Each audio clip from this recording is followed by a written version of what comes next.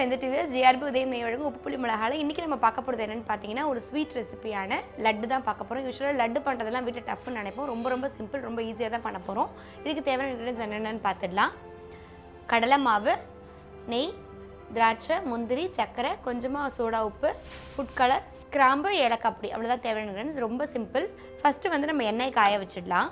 ஒரு கடாய் வச்சுட்டு இந்த கடாயில் நம்ம வந்து தேவையான அளவுக்கு எண்ணெய் ஊற்றி காய வச்சுட்டு போகிறோம் இப்போ எண்ணெய் காயட்டும் அதுக்குள்ளே ஒரு பவுல் எடுத்துகிட்டு நம்ம வந்து லட்டுக்கு தேவையான மாவை வந்து நம்ம கலந்துக்கலாம். இப்போ லட்டுக்கு வந்து பார்த்திங்கன்னா ஃபஸ்ட்டு இப்போ நம்ம கடலை மாவு எடுத்துக்கலாம். ஒரு கப்பு கடலை மாவு இருக்குது இதில். இப்போ கடலை மாவு எடுத்தாச்சு. இந்த கடலை மாவில் வந்து பார்த்திங்கன்னா நம்ம வந்து ஒரு ரெண்டு பிஞ்ச் வந்து சோடா உப்பு சேர்த்துக்கலாம். இதில் கொஞ்சமாக ஃபுட் கலர் இது ஆப்ஷனல் நீங்கள் வந்து லைட் அளவாகவே இருக்கலாம்னா நம்ம அப்படியே கடலை மாவு கடலே நமக்கு வரும். கொஞ்சம் கலர் இருக்கணும்னா நம்ம வந்து எல்லோ கலர் இதில் சேர்த்துக்கலாம். இப்போ கடலை மாவில் பார்த்தீங்கன்னா ஒரு பிஞ்சு சோடா உப்பும் கொஞ்சமாக ஃபுட் கலரும் ஆட் பண்ணியிருக்கோம். இதை வந்து இந்த மாவாக இதை கலந்துடலாம். இதுக்கு வந்து பார்த்திங்கன்னா நீங்கள் எடுத்ததுமே ஃபுல்லும் தண்ணி விட்டுட்டோன்னா அது ஃபுல்லாக கட்டி ஆகிடும் அதனால் நம்ம கொஞ்சமாக தண்ணி விட்டு ஃபஸ்ட்டு ஒரு பேஸ்ட் மாதிரி இதை நல்லா கரைச்சிட்டு அதுக்கப்புறமா நம்ம வந்து நமக்கு தேவையான கன்சிஸ்டன்சி கொண்டு வந்துக்கலாம். ஃபஸ்ட்டு த கட்டி இல்லாமல் நம்ம இதை வந்து மாவை கரைச்சிடணும். இந்த மாவு வந்து பார்த்திங்கன்னா நமக்கு வந்து ரொம்ப திக்காகவும் இருக்கக்கூடாது ரொம்ப தின்னாகவும் இருக்கக்கூடாது. ரொம்ப திக்காக இருந்ததுன்னு பார்த்தீங்கன்னா ஒவ்வொரு பூந்தி ஒவ்வொரு பூந்தியுமே வந்து பார்த்திங்கன்னா நமக்கு வந்து ஒவ்வொரு சைஸில் விழும். இப்போ வந்து பார்த்திங்கன்னா நம்ம பூந்திக்கு மாவு ரெடி பண்ணியாச்சு. இது வந்து பார்த்திங்கன்னா நமக்கு வந்து ஒரு இட்லி மாவு பத்தத்தில் இருக்குது இந்த மாவு வந்து நமக்கு வந்து ரொம்ப தண்ணியாக போயிடுச்சுன்னா நமக்கு ஒவ்வொரு பூந்திக்கும் வந்து பார்த்திங்கன்னா வால் மாதிரி விழ ஆரம்பிச்சிரும். அதே மாதிரி ரொம்ப திக்காக இருந்துச்சுன்னா ஒவ்வொரு பூந்தி ஒவ்வொரு சைஸில் விழும். அதனால் நமக்கு வந்து மாவு கன்சிஸ்டன்சி நமக்கு கரெக்டாக இருந்தால் தான் பூந்தி வந்து பார்த்திங்கன்னா எல்லாமே நமக்கு ஒரே அளவில் பூந்தி கிடைக்கும். இப்போ நமக்கு எண்ணெயும் ரெடியாக இருக்குது நமக்கு பூந்திக்கான மாவும் ரெடியாக இருக்குது இப்போ எண்ணெய் பார்த்தீங்கன்னா நல்லா காஞ்சிருக்கு. நம்ம வந்து பூந்தி இதில் விட போகிறோம் பூந்தி நம்ம வந்து நமக்கு உள்ளே விழுந்ததுமே வந்து பார்த்திங்கன்னா டக்குன்னு உடனே நமக்கு மேலே வரணும். அதுதான் நமக்கு வந்து சரியான பதம். நம்ம ஒரு கரண்டி எடுத்துகிட்டு இந்த மாதிரி நம்ம இது மேலே இப்போ விடலாம்.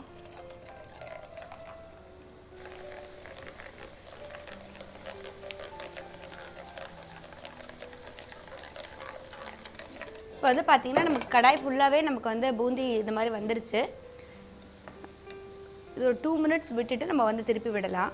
நமக்கு இந்த பூந்தி வந்து பார்த்திங்கன்னா நமக்கு ரொம்ப கிறிஸ்பியாக ஆகக்கூடாது காரா பூந்தி மாதிரி. நமக்கு என்ன நம்ம வந்து பூந்தி லட்டு பண்ணி நம்ம வந்து பிடிக்க போகிறோம் அதனால் ஜஸ்ட் நமக்கு வந்து ஒரு crispy போதும். காரா பூந்தி அளவுக்கு வந்து நமக்கு முறுமுறுன்னு வரணுன்ற அவசியம் கிடையாது. இப்போ பூந்தி பார்த்திங்கன்னா இது மாதிரி நல்லா பொரிஞ்சிருச்சு எல்லாமே. இது வந்து ஒரு பிளேட்டில் எடுத்துடலாம்.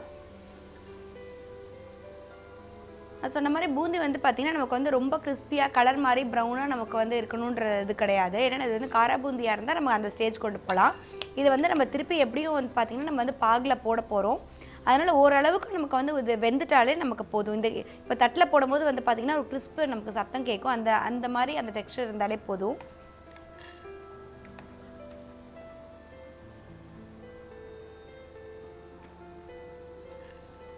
ஒரு கப்பு கடல் மாவுக்கு பார்த்திங்கன்னா ரெண்டு கப்பு சர்க்கரை வந்து நம்ம பாகு எடுக்கணும்.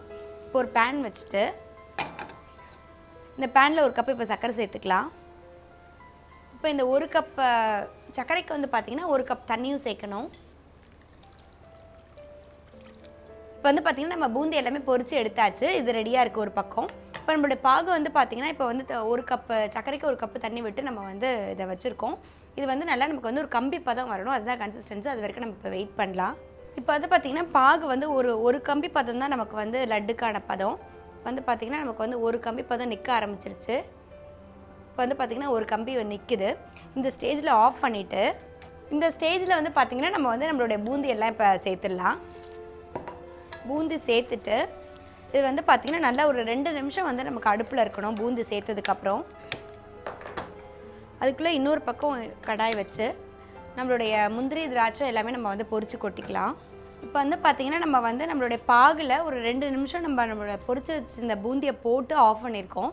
இது கூடவே கொஞ்சமாக ஏலக்காய் தூள் இதில் ஆட் பண்ணிக்கலாம். இப்போ இன்னொரு பக்கம் கடாய் வச்சுருக்கோம். இந்த கடாயில் வந்து பார்த்திங்கன்னா கொஞ்சம் நெய் போட்டுட்டு ஃப்ளேவருக்கு பார்த்திங்கன்னா ஒரு ரெண்டு கிராம்பு போட்டுக்கிறோம்.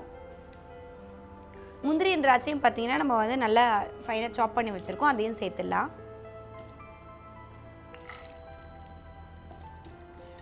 இந்த நெய்யில் நம்ம வந்து ரெண்டு லவங்கம் இது கூட வந்து பார்த்திங்கன்னா கொஞ்சமாக முந்திரி திராட்சை எல்லாத்தையுமே நல்லா பொரிச்சிட்டோம். இப்போ வச்சுருக்க பூந்தியில் இதில் சேர்த்துக்கலாம். இதிலே நம்ம நெய் சேர்க்குறோன்றதுனால நமக்கு பிடிக்கும் போது வந்து பார்த்திங்கன்னா ஈஸியாக இருக்கும். இது வந்து கொஞ்சம் சூடு இருக்கும் போதே நம்ம பிடிச்சாதான் வந்து பார்த்திங்கன்னா நமக்கு வந்து இது பிடிக்க வரும். அதனால் நம்ம ரொம்ப ஆற விட்டுட்டோம்னு வந்து பார்த்திங்கன்னா இது வந்து நமக்கு உதிரி பூந்தியாகவே தான் இருக்கும். கை பொறுக்கிற அளவுக்கு சூடு இருக்கும் போதே தான் வந்து பார்த்திங்கன்னா நீங்கள் வந்து இது லட்டு பிடிக்க முடியும். இது வந்து லட்டு பிடிச்சிடலாம். அப்படி உங்களுக்கு கையில் வந்து இதை தொட முடியல அப்படின்னா நீங்கள் பக்கத்தில் கொஞ்சமாக தண்ணி வச்சு நீங்கள் வந்து பிடிச்சி நம்ம வந்து பிடிச்சிக்கலாம். ஆனால் பிடிக்கும் போது வந்து பார்த்திங்கன்னா நமக்கு ஷெல்ஃப் லைஃப் வந்து லட்டுக்கு வந்து ரொம்ப நாள் இருக்காது. ஒரு மூணு நாள்லேயே வந்து பார்த்திங்கன்னா லைட்டாக பூசணம் பூத்த மாதிரி ஆகிடும் மேலே. அதனால் மேக்ஸிமம் வந்து பக்கத்தில் நெய் வச்சுட்டு நம்ம வந்து இதை அந்த லைட் சூடோடு நம்ம வந்து பிடிக்கிறது தான் பெட்டராக இருக்கும். இப்போ வந்து பார்த்திங்கன்னா பூந்தி எல்லாமே நமக்கு வந்து நல்லா ஒரு அளவுக்கு கையில் பிடிக்கிற அளவுக்கு ஆறிடுச்சு. இது எல்லாத்தையும் நம்ம வந்து நல்லா இப்படி ஸ்ட்ராங்காக நம்ம வந்து பிடிச்சிக்கலாம். நமக்கு எந்த சைஸ் வேணுமோ நம்ம அந்த சைஸ்க்கு எடுத்து பிடிச்சிக்கலாம். பூந்தி வந்து பார்த்தீங்கன்னா லைட்டாக உதிரி ஆகிடுச்சு உங்களுக்கு வந்து பாகு முருகிடுச்சு உங்களுக்கு பிடிக்க வரலன்னா அதில் வந்து லைட்டாக கொஞ்சம் வந்து பால் சூடு பண்ணிவிட்டு அந்த பாலை லைட்டாக தெளித்த மாதிரி நம்ம பிடிச்சோம்னு பார்த்தீங்கன்னா நமக்கு வந்து திருப்பி பிடிக்க வந்துடும் அதே மாதிரியே அது வந்து நான் சொன்ன மாதிரி நீங்கள் வந்து ஷெல்ஃப் லைஃப் பார்த்தீங்கன்னா ஜாஸ்தி வைக்க முடியாது. ஒரு மூணு நாளிலே வந்து பார்த்திங்கன்னா நமக்கு வந்து ஏன்னா அது கொஞ்சம் வெட்னஸ் இருக்கிறதுனால நமக்கு வந்து பூசணம் பூத்த மாதிரி ஆகிடும் அதனால் மோஸ்ட்லி நம்ம வந்து எதுவுமே இல்லாமல் கொஞ்சம் சூடாக இருக்கும் போதே ஃபஸ்ட்டு பிடிச்சிட்டோன்னு பார்த்தீங்கன்னா இது வந்து நமக்கு நல்லா ஒரு ஒன் வீக் வரைக்கும் நம்ம வச்சு சாப்பிட்றதுக்கு ரொம்ப நல்லாயிருக்கும்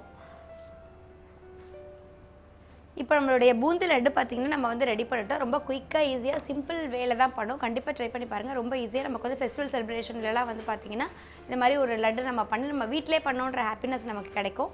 கண்டிப்பாக ட்ரை பண்ணி பாருங்கள் ஒரு ஈஸியான ரெசிபி இதே மாதிரி ஒரு சூப்பரான ரெசிபியோடு நெக்ஸ்ட் செக்மெண்ட்டில் மீட் பண்ணலாம்.